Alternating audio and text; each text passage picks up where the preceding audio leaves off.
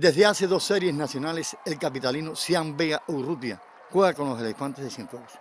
Cian, hijo de Herón Vega Granados, actor de la televisión cubana, y nieto de Daisy Granados y Pastor Vega, en sus genes identitarios están raíces y sangre cienfueguera. Cienfuegos ha significado mucho para mí, ya que mi familia nació aquí y tengo a Cienfuegos en la sangre.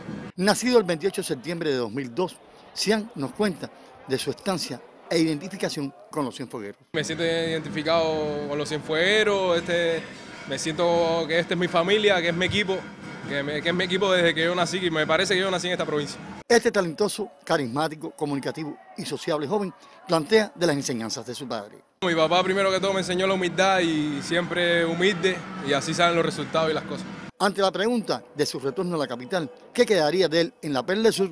Precisó. Hasta ahora mismo no tengo pensado volver a la capital. Como te estaba diciendo, Cienfuegos para mí es mi equipo de nacimiento y voy a seguir por aquí. Si la vida quiere que yo vaya a industriales, a lo mejor y me retire por aquí por Cienfuegos. De tal manera, las raíces identitarias de este capitalino con sangre sin foguera están en su corazón, que juega la primera base de los elefantes y lleva el número 5 nada más ni nada menos que de Antonio Muñoz, el gigante de Cambrai. Tema sobre el que volveremos en un próximo reporte.